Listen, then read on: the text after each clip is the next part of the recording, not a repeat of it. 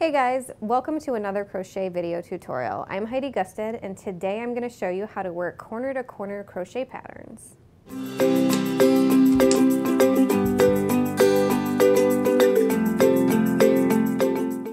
To work a corner to corner crochet project, you're going to want to start with six chains on your hook, which I've done already. So what we're going to do is double crochet starting in the fourth chain from the hook. So one, two, three, and four. So we're going to double crochet in this space and then two times more to form our first square. So there's one, there's two,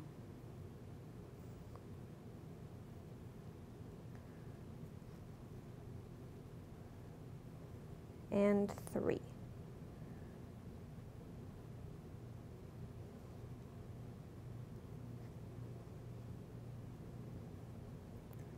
And now we've got our first little square.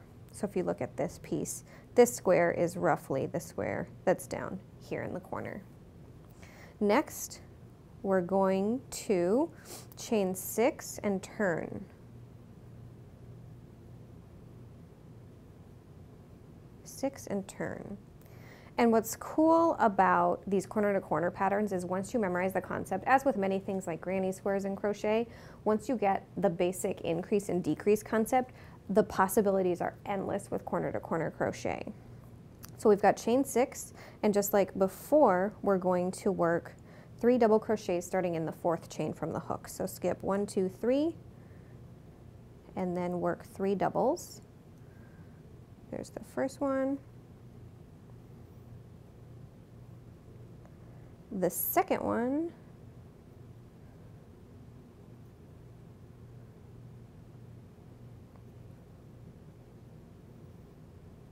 and one last one.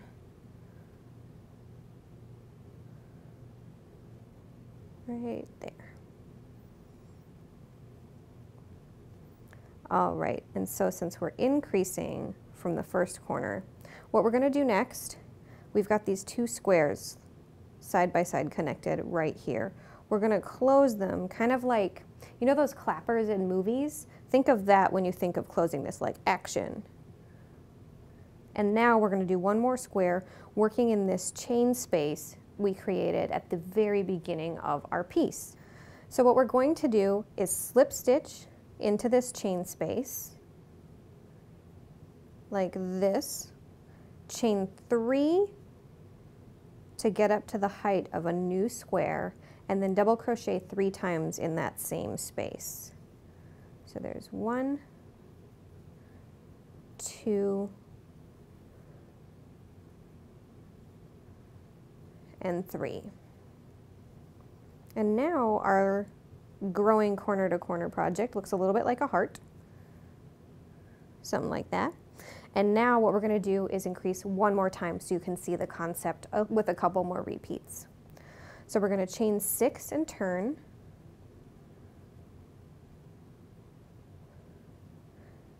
And then starting in the fourth chain from the hook, we'll double crochet three times. So yarning over, one, two, three, there's the fourth.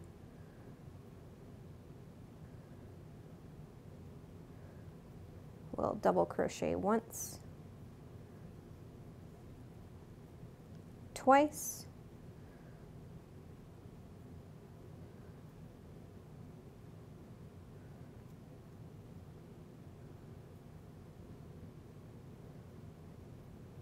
and a third time in this last little corner chain right here. And now, just like before, remember the movie clapper? We're going to close that like the movie clapper, finding the next chain space, and we'll slip to lock this corner in place. Now we'll chain three and double crochet. Three, so we'll chain three and we'll double crochet three times in that same space. I think you're beginning to see how easy and relaxing it can be to work these kinds of patterns because it's such an easy repeat to memorize. And there's our third double crochet. And since we're on an increase, we need to do one more slip stitch and chain three. ending this row with the last three double crochets in that same space.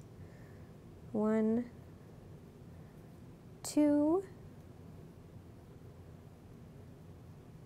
and three, right there.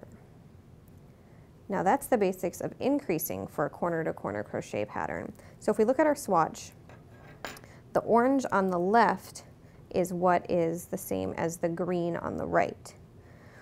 But instead of doing this fourth orange row from the swatch, I'm going to just start decreasing just for simplicity and demonstration's sake. So now when we switch to decreasing, we will not begin by chaining six stitches like before. Instead, we're going to turn our work and slip stitch across the three chains at the beginning of our row. And this brings our working loop to the next, the next niche or next notch that we want to work in without creating an additional square. Because if you don't start decreasing, your work will just keep getting bigger and bigger and bigger without becoming that square shape. You could, you could very easily create a shawl by simply doing the increases or starting wide and just doing the decreases, but I think it's important to know both ways to do it if you're just in the basics of learning how to do corner to corner crochet. So now that we've turned our work, we're gonna start working a decrease. To get our working loop to the notch where we need to create our next square, we're gonna slip stitch in the three ends of this first square so that we can get the working yarn where it needs to be without making our project bigger than necessary, like so. And now we're back to that working opening, which just like every time we've run into it, will be started with a slip stitch and a chain three. Then we'll double crochet three times in the same space, and you can probably guess how the rest of this row goes. Because, spoiler alert, it's the same as when we worked across the increase rows. It's just started and ended a little differently. So there's one, two, three, slip stitch, chain three, and then three double crochets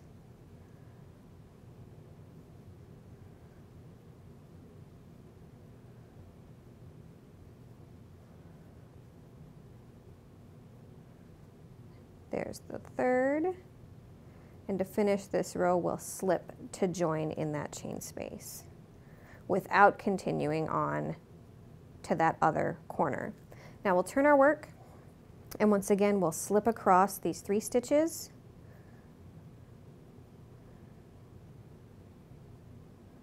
We'll slip across these three stitches